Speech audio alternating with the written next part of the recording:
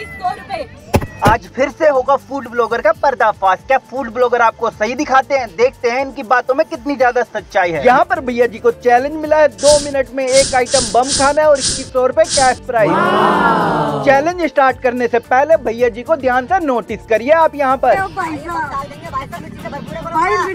यहाँ पर आपने एक चीज़ नोटिस करी। जैसे पीछे से अब आ जाते हैं कि इसमें बहुत सारा मिर्ची है तो भैया जी को सही में मिर्ची लगने लग जाती है। वाह भाई वाह। और आप ये देखिए बड़े वाले पानी पूरी में कितनी ज़्यादा मिर्च डाली जाती है यहाँ पर। और यहाँ पर हमारे भैया जी को देखिए, पूरा का पूरा पानी पूरी खा गए, पर मिर्च अभी तक भैया जी को ज़्यादा लगी नहीं। और स्टार्टिंग में पीछे से अब आ जाई थी, इसलिए भैया जी ने दिखाया कि मुझे बहुत ज़्यादा मिर्ची लग रही है यहाँ पर। यहाँ पर पूरी मिर्च खा लेंगे, एक बार में पर खाएँगे नहीं, बस मुँह में रखेंगे और जैसे ही वीडियो कटेगी, वो मुँह का मुँह पूरा खाली हो जाएगा भैया जी का। ये देखिए, अभी भी पूरा मुँह भरा पड़ा ये वीडियो कटी और सारा गायब हो गया यहाँ पर। फिर हमारे भैया जी बोलते हैं तीखा खाने का चैलेंज पूरा मुँह भरा था, वीडियो कटी, पूरा मुँह खाली हो गया भैया जी का।